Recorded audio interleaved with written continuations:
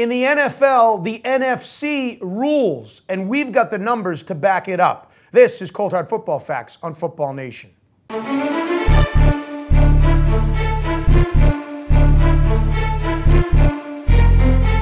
Time now to dive into this icy issue on Cold Hard Football Facts. Kerry Byrne of ColdHardFootballFacts.com.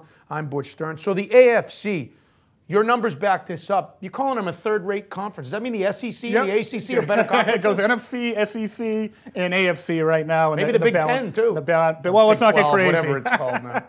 But uh, you know, right now, you know, the balance of power in the NFL is usually cyclical. In the 70s, the AFC dominated. 80s and 90s, it was the NFC. The last decade, it was the AFC. Clearly, now we've seen a swing back towards a balance of power in the NFC, and it goes much deeper than the NFC winning in the last three Super Bowls or four of the last five. We're really seeing that that imbalance of power play out right now this year. All right, let's look at your numbers, coldhardfootballfacts.com, the numbers that correlate to victory, and see just how bad you back up this opinion, how bad the AFC really is. Yeah, well, we, we get something we call our quality stats power rankings. Power rankings, excuse me. It's our average across the board and, and all our different indicators.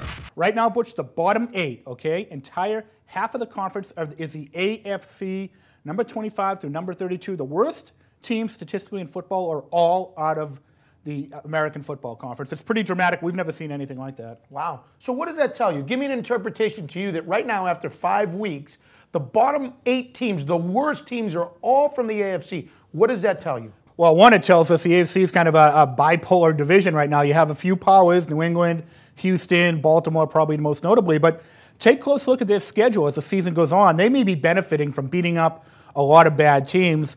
Conversely, it tells us that some of these teams are facing really tough schedules right now. I mean, I think if you go down the board, these teams all are, are facing tough opponents week after week. The Browns 0-4 against quality opponents. The Titans 0-4 against quality opponents. Some of these teams are, are struggling against tough schedules too.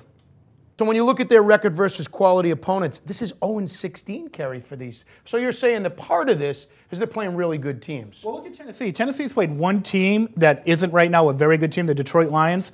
They scored 44 points in that game. They won 44 41. They've only scored 44 points in their other four games. Talking about the Titans, dead last in our quality stats power ranking. So clearly their ranking is hurt by playing a tough schedule. But still, you have to be very concerned when all eight teams in the bottom, the bottom of the NFL are all from the same conference. It tells us this division, despite the tough schedule, now this conference has has some issues with it right now. The balance of power belongs in the NFC. So to finish up with a final point discussing how bad the AFC is right now, if I look at your top five teams that are ranked, Houston is number one. They're from Yep. the AFC, but then it's Atlanta, San Francisco, Chicago, and Minnesota. New England and Baltimore up there too. But but in the top five, four out of the five are NFC teams. And how about two of them from the NFC North that we didn't think we'd see? I mean, these are the two teams. The, the, the Vikings last year were three and thirteen.